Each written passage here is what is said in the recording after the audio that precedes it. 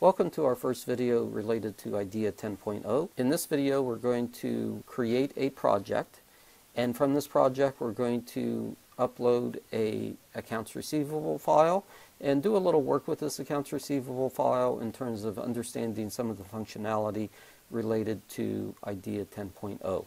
So the first thing that we want to do is to create a project. Now the project is where we keep a repository of all of our work related to a specific project. In this case, we're going to create a project, and you notice that we are in the Home section. We are clicking the Create button, and the information here is to create a new project. We then name the project. Now we're not doing external projects, we're simply doing internal projects. We're going to call this project video. Project accounts receivable. We click OK. And then what we're going to be doing is we're going to be uploading files into the project. Now to give you a sense of how we would navigate between one project and the other, we would click the select button and you notice that we are in the video project accounts receivable but in fact, if we want to go to another project, we would simply click one of these and then go into that project. But we're going to stay in the project that we have right now. The first file that we're going to be working with is an accounts receivable file. It is an access-based file. So what we want to do is we want to upload this file into our IDEA project. The way we do this is we're still at home but what we want to do is to click desktop because this is where our file resides. And we need to then define what type of file we're going to use. In this case, the file is a Microsoft Access file, and we want to find out where that file is. So we need to identify the file name over here. We click the three little dots over here, and it goes to our file directory. In this case, I have all these files set up very conveniently, and it's the accounts receivable file here. We are then going to click Next. What's going to take place is there's going to be a scan of this information. The scan of this information is set up in such a way that it looks to determine what kind of data is in each column. And we'll explain that in a few minutes. Now, if we want to change the name, we would change the name down here and we're going to call this file accounts receivable.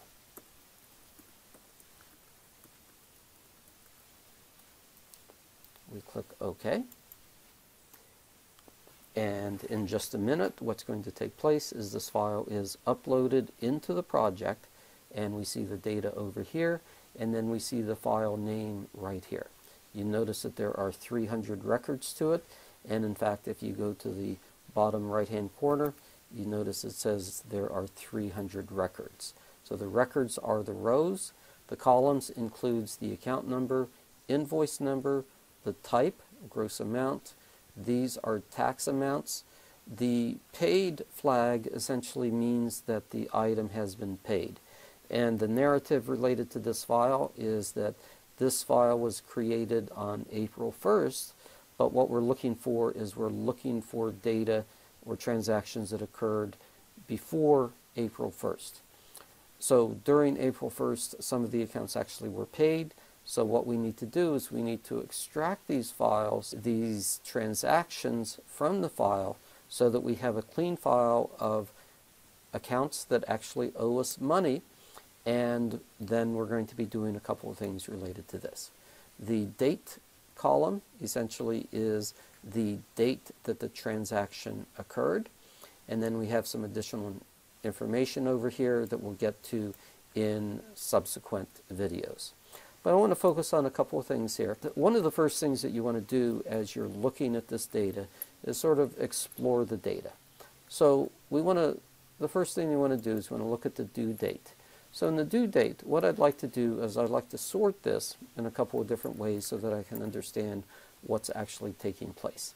So if we go to data over here and click sort, is what we want to do is we want to sort by the field and then the direction. So in this case, what we want to sort is we want to sort by the date field. And in this case, we can sort it ascending. We click OK here. And essentially what this means is the last transaction date, or the earliest transaction date was 11-4-2014. If we sort it the other direction in terms of descending, and we want to create a date date, and we want this to be descending, is what we see here is that the latest date is April 1st. So again, as we had explained earlier, is what we're looking for are transactions up to the end of the month. And the end of the month is the 31st of March 2015. So we want to filter out the date of March or April 1st, 2015. The other thing that we want to look at, and I'll share this with you, if we go to the paid flag and we do the paid flag descending, essentially what we're going to find here is that there are a number of transactions that have actually been paid. So these transactions that have been paid are items that we need to extract out of the data as we are going to be working with it. So the easiest way that we want to be able to do this is by going to the right side over here. And the right side over here, you notice that there's a couple of things. One of which is, and I'll just go through a couple of things here, is if we want to get an amount related to the gross amount, is uh, what it says here is that the gross amount at this point is $435,000. But what we want to do, and we can keep this uh, uh, continuing as we go forward, but what I'd like to do is to create a criteria where we're going to filter out the information related to the paid flag. In other words, we're looking for items that have not been paid, therefore the paid flag is not equal to P. And then we're looking for dates that are before the last date, which is March 1st, 2015. So let's look at the criteria that we have here. Now, you notice that in the criteria there's a script bar that you see here. Over here is we have all of the columns. You notice that the columns are identified in specific uh, uh, characteristics. Account number is a character. A character is alphanumeric, or it could be numeric, but it's treated like an alpha, so we're not adding it together, we're simply using it to sort. Invoice also is a character. Gross amount is numeric, so we can do calculations with this. Uh, the taxes are numeric. The paid flag is a characteristic. And you notice that the date is a date. So what we want to do is we want to create a script where we're going to extract out the items that we don't want. So the first thing that we don't want is we don't want the paid flag to be P. So how are we going to do that? Well, we're going to do that, again, we click, double click paid flag, that will show up over here. And we want this to be not equal to. Now, we don't want it to be equal to P. You notice that this is a character. So what this means is that what you want to be able to do is you want to encase the P in the quotation marks. So paid flags are not equal to P. If we want to validate this, we click the validation and we see that that's okay. And just for your information, if we take the, the quotation marks away, is you notice that there's a syntax error. So whenever you have a character you want to make sure that it's encased in the quotation marks. So we click this, it's okay, and we'll do the date next, but I just want to see over here. So what you notice here, now at the bottom, is now there's 254 transactions out of 300. The gross amount has gone down to $370,000. But the next thing that we want to do related to this is extract out that transaction that occurred on April 1st, 2015. So we're looking for transactions that are less than or before April 1st, 2015. So we click the criteria again, and we put our cursor right after our script related to the paid flag. We hit AND. Now what we're looking for, and by the way, if you type it in, you notice that there's actually a period before AND and after AND. So if you're used to other uh, types of data analytic uh, software. This is just a little bit different and it's going to take you uh, a, while to get used to it. But in, it's e the easiest way to do it is simply to click AND. So we have AND. Now what we're looking for, we're looking for the date. And in this case, the date is going to be less than, so we have the, the less than over here, and it's going to be less than April 1st, 2015, which as we were seeing when we sorted the data, that that is the date that is the one that we want to extract out. So we click the calendar over here. Now I'll show you a couple of different ways you, you can do this. You can in fact sort through this, which usually is not that big of a deal because you're usually working with current dates but we're looking for April 1st, 2015. Now, I'll just point out a couple of things here. Is you notice that the year is first, then we have the month, 04, and then the day, 01. It also is encased in the quotation marks, the double quotation marks, which again, a little bit different than if you're using ACL. But that's what we have there. Now, once you have this, you can if you decide you did the date wrong or something, you can go in here and you can say 2016 or whatever you want to do. As long as it's encased in the quotation marks and you have the year first, the month, and then the day. So what we're looking for is, again, we're looking for paid flag not equal to paid. So we're looking for everything that is unpaid.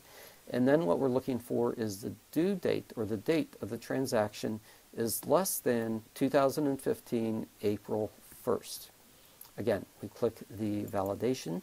The valid uh, equation is acceptable, and then we hit OK. Now what we have is we have extracted that one figure out. So we now have 253 transactions, and out of 300, the total amount that we have, the control total, is $369,255 and we have the criteria set up as we see here. So let's do some analysis related to this. So the first thing that, that might be interesting is to see how much is owed to us by each account. Okay? Uh, so to find out how much is owed to us by each account, what we want to do is we're going to go to Analysis, and we are going to Summarize. So we're going to summarize by the account. You notice that the criteria is set up here. If you want to create an additional criteria, we can add it to the right or we can actually add it to this uh, equation here. So we're summarizing by character fields. So the character field is account number. If we want to summarize it by invoice, we can certainly do that. But let's just, as a very simple transaction, summarize it by account number. We, in this case, will pick up all three items, the gross amount, the two separate tabs, and then what we're looking for is the sum. We can do average, variances, standard deviations, but in this case, we're just looking at sum. We hit OK, and now we have the transactions. So what's really neat about this, which by the way, the transactions that we were working with here, the, the tables are here. So this is the table that has the information that we were looking at. The summary transaction is here. If we were an auditor and we wanted to, let's say we wanted to see these, these accounts, we could click this. This is a hyperlink and this will then show us the data. You could print it. Uh, there's a lot of things that we can do with this after we have this. Okay, we're not necessarily interested in that right now, but what we want to do also, we go back to the data, and again, the, we have the right file here. It is 253 transactions out of 300. We have the criteria set up, and we have the control total over here. So we, when we click the aging report, what's taking place is the criteria that we had set up earlier comes over, and the aging date is as of today. Well, we're not looking for today. We're looking for aging as of the April 1st, 2015. So again, we can go over here, and it's not that difficult to get to April 1st, 2015. April 1st, 2015. The criteria is what we have set up over here. The what we're looking for is we are aging based upon the due date and we're picking up the transactions related to the gross amount. We're aging based upon days and this is preset 30, 60, 90, 120, 150, 180. You can change these if you like, but you don't have to change these. And we can also create a detailed aging report, but in and then the results are going to create a separate file and the separate file is, we're just calling this aging, which we can come back to uh, later on. So we click this, and what we have here is what we're looking at is the 0 to 30 days is 161 items. We can click this, and we can extract the rec records, display the records. Displaying the records is looking like this. And what we notice here is that there's actually one account that's over 150 days. We can display this record and we can find out what we have related to this. Okay, so there's some really neat things that you can do and what I suggest that you do at this point is begin to explore a number of the items that we have related to the analysis. One of the things that is kind of interesting, and I'm going to go back to our data set, is that we have the account number, but we don't have the name. So what we're going to do in the next in the next uh, video is we're going to get the customer listing, take a look at the names, and then match this with the account numbers. And then there's going to be some additional things that we're going to be able to do with this data file. So I hope this helps. I thank you very much for your time, and I'm looking forward to talking to you